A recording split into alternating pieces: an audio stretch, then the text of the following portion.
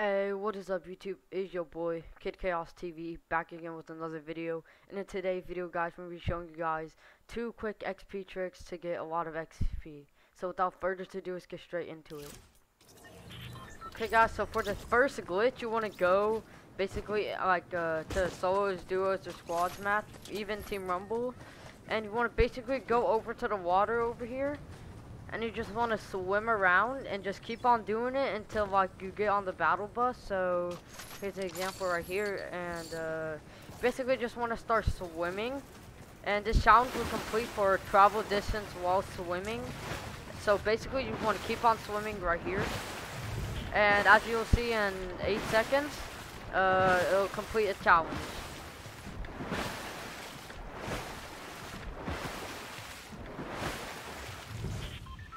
Okay guys, so basically you just want to swim, right? And if you go down here, you can see like uh, travel distance while swimming. And if we go into another match and do this, I believe we will complete the challenge. So let's go ahead and get into another match so I can show you guys this does work. Okay guys, as you can see, we're at Spawn Island. So basically, uh, make sure you get in the water quick enough before you go on the battle bus. And you just want to start swimming like this.